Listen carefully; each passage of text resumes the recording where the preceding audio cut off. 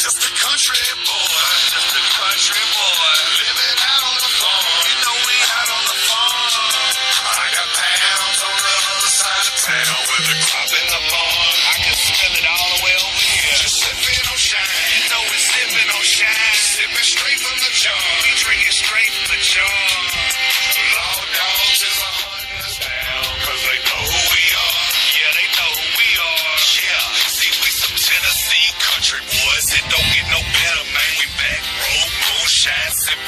Chevrolet, blowing on that killer hay, hoping I can smoke away every single problem from the day. I won't ever change. Southern by blood in the mud of the USA.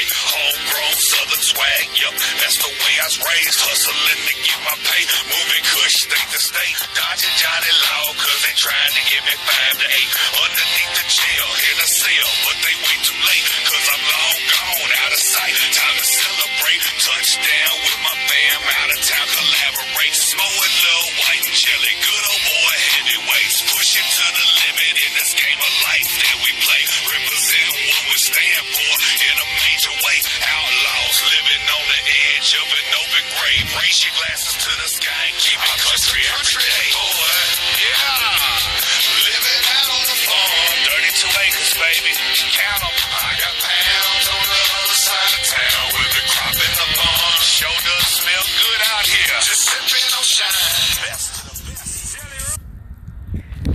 Laying since we combine harvester thrashers. Ooh, wow. Hang on just a second. Everybody this Lance Sensenig combine harvester thrashers, and welcome to Monday morning Facebook Live.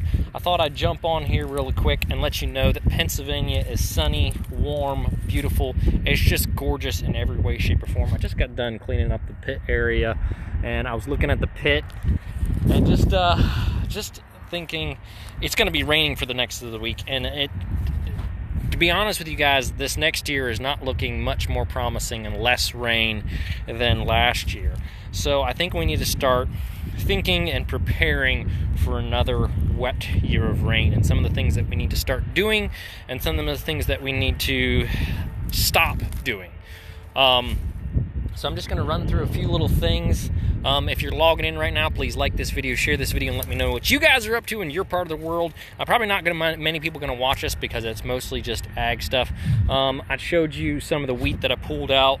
That's where our wheat is. This was planted. Uh, this was winter wheat, so it was planted last year. Um, so it's got as early a start as possible. Will nature let it? And um, it's coming up pretty good. It's got a good stand. Um, there's some spots right out here where the drill uh, left some skippers, um, which that's normally you probably had a seed tube plug up.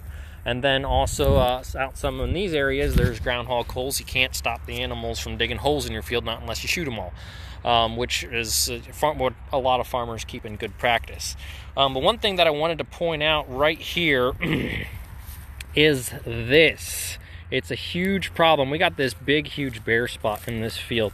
Hopefully, my neighbor doesn't get mad at me for showing this. But this happens to all of us farmers. And what happens is when you're harvesting your soybeans, corn, whatever it is, in the fall, and you're cutting along with your combine, and you stop, and you stop for whatever reason and you don't move, your combine makes this chaff line in the field. And as you can see, there's no wheat growing. Um, I mean, some wheat came up very, very lightly, but even that's not uh, very healthy. The wheat wasn't even fully immersed into the ground, which is a problem.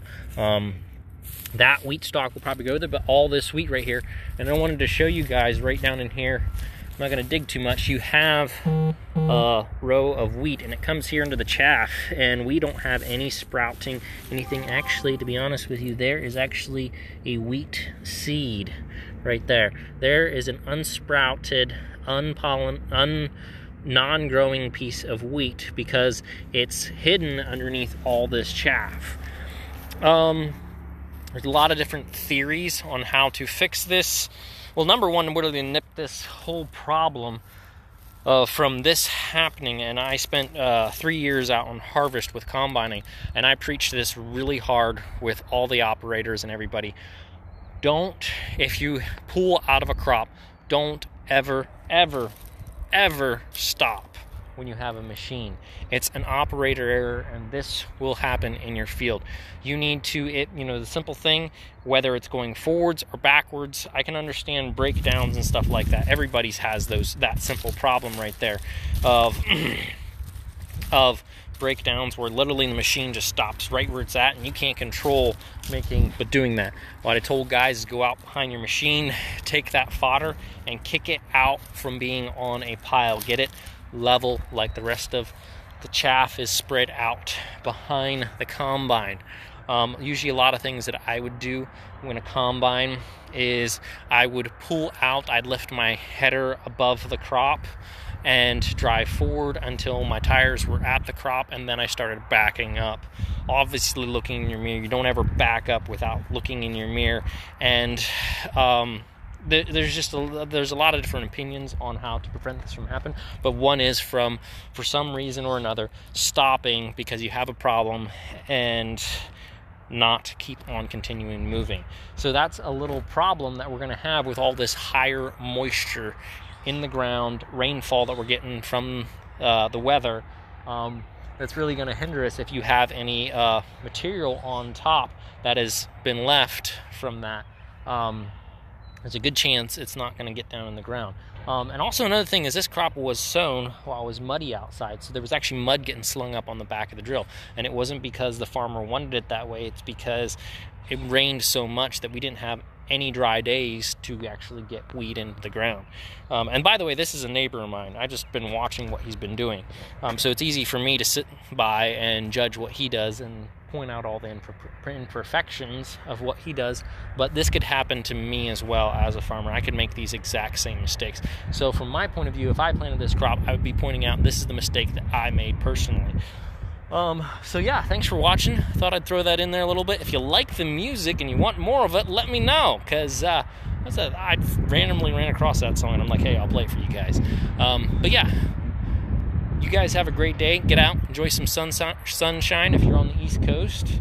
Um, yeah, and like always, see y'all later. Keep on farming. Here's Facebook.